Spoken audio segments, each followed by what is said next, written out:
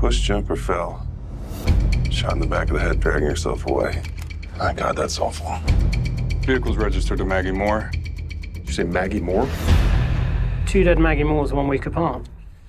Yeah, that's weird. Mr. Moore? Can I help you? Uh, I'm looking for Jay Moore. He's not here. They're separated. Oh, Big fight. You need to leave. Oh, I need to leave? This is my house, Maggie! She did yell the word filth. I caught that. well, Jay Moore's into something. My wife is threatening to go to the cops. I would like you to scare her off the idea.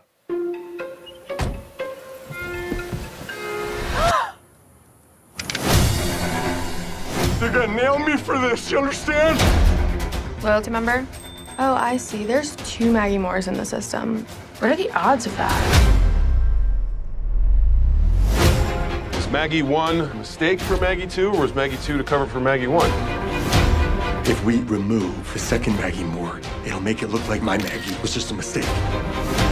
We gotta make it look like it was an accident, and I'm off the hook.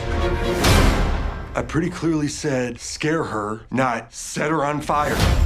Somebody out there's really good at what they're doing. Jay looks like he's been shoved around a little bit. Junior detective. Who would do this? We'll find out. Sooner or later, we always do. This nutcase is setting me up. Uh-uh, that's crazy. False. She just dropped a dime on Maggie's husband. Life insurance. 700K.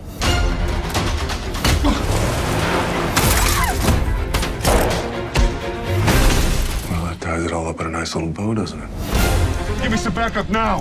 Wash your car. Wash your ass. How are we doing? You seem really worked up over this.